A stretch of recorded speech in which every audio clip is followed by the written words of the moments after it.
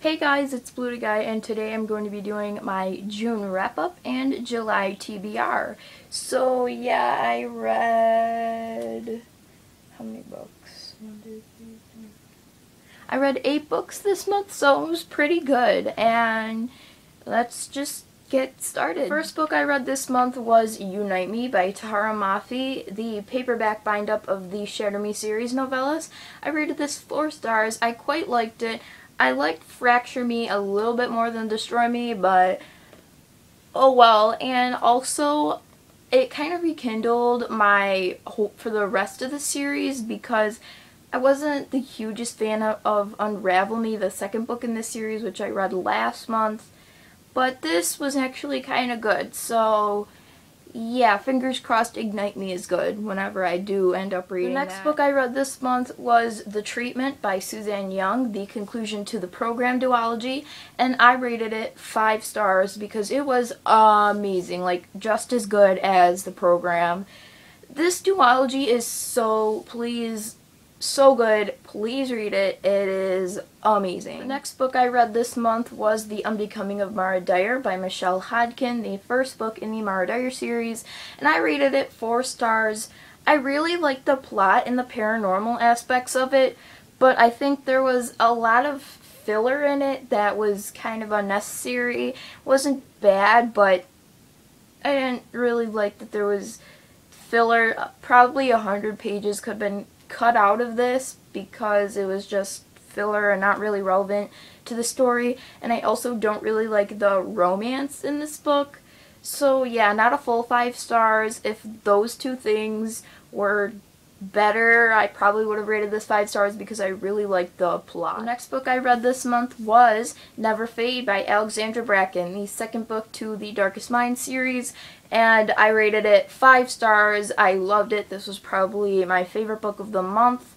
It was so amazing and feels at the end and it was just so so good. Please read The Darkest Minds and Never Fade.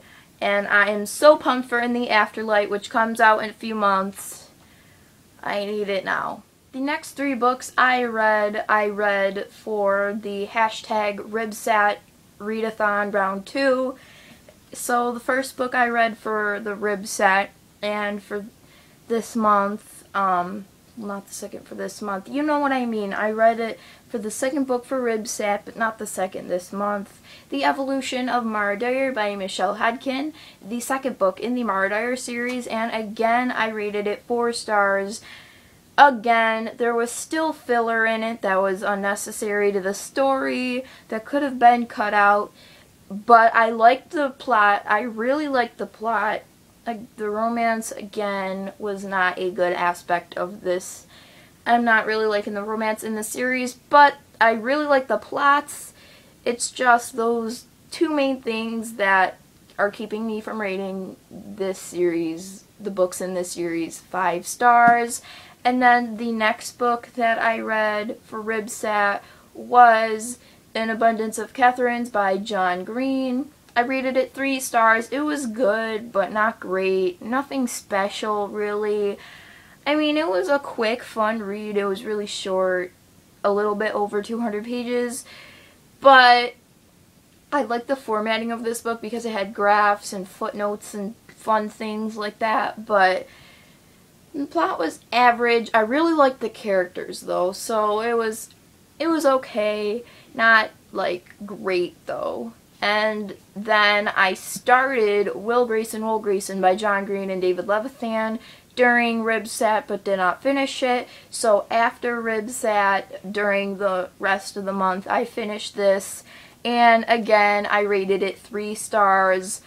Nothing special. Good but not great and it was kind of average. I don't know. Like, it was not the worst thing the ever. last book I read this month was Across the Universe by Beth Revis, the first book in the Across the Universe trilogy, and I rated it four stars. I really enjoyed it. I really liked the plot, and the characters definitely had a lot of depth, and I kept finding like parallels to Brave New World, although I didn't really like Brave New World by Aldous Huxley. This was like a better version of it.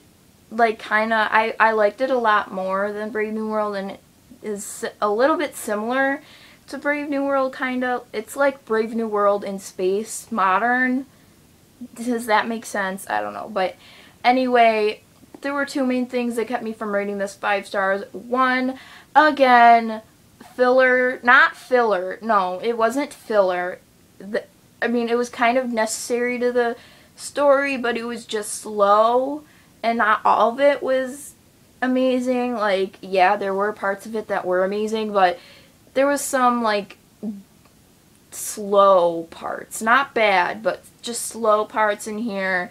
And also, swear words were substituted for fake swear words and sometimes it got a little annoying like just use the regular swear words why do you have to make them up make new ones up like I don't I don't understand that. But yeah this is really good and I'm looking forward to continuing on with the series. And then I started reading a novella which was The Staff of Serapis. Serapis, Serapis, I don't know how you say that. I think it's Serapis, I'm not sure though. By Rick Riordan, the second book in the Percy Jackson Kane Chronicles crossover novella series. I read this sort of so back a while back, uh, and so I thought that I could get Staff of Serapis on iBooks, and I did not finish this novella, however, I'm almost done with it, but I just couldn't push myself to finish it.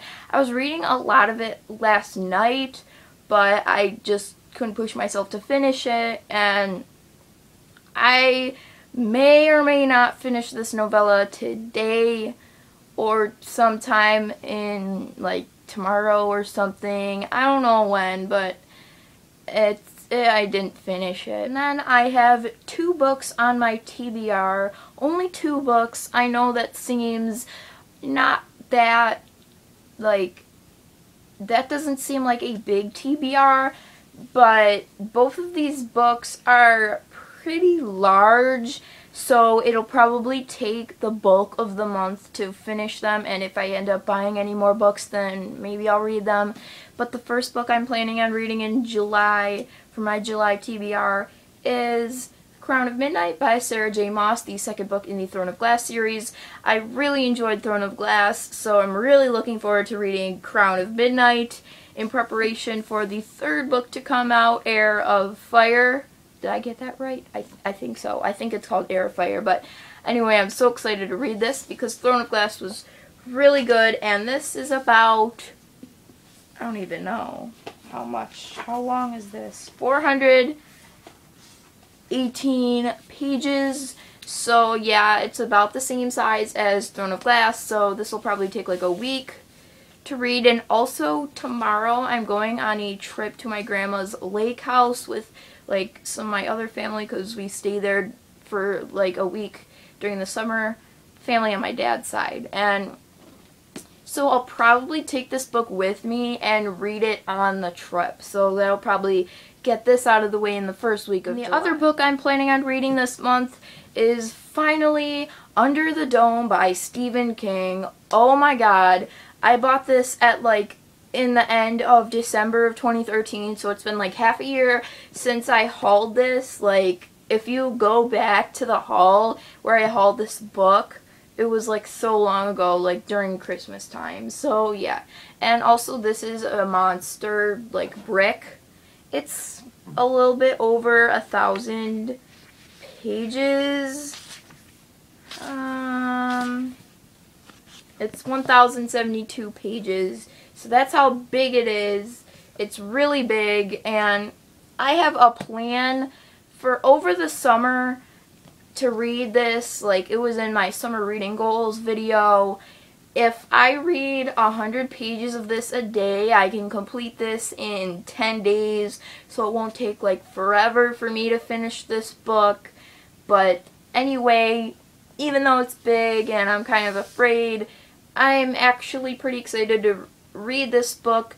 It's also a series on CBS which I have not watched any of that, but after I read this, I can like watch the whatever is out of it because a new season of this is coming out. I think it actually premieres today. So I'll probably be late on that, but hopefully I can like read this soon so I can watch that maybe. Who knows, but yeah, just know that I want to complete this in July. Well, that is it, and I'll see you guys later. And oh, I almost forgot, I will probably not be making the Top 5 Wednesday video for this week because as I said before in this earlier in this video, I'm going on a trip tomorrow and I'll be gone for the whole week, so I probably won't be making the Top 5 Wednesday video for that or any videos during that week. But yeah, that's pretty much it, and bye.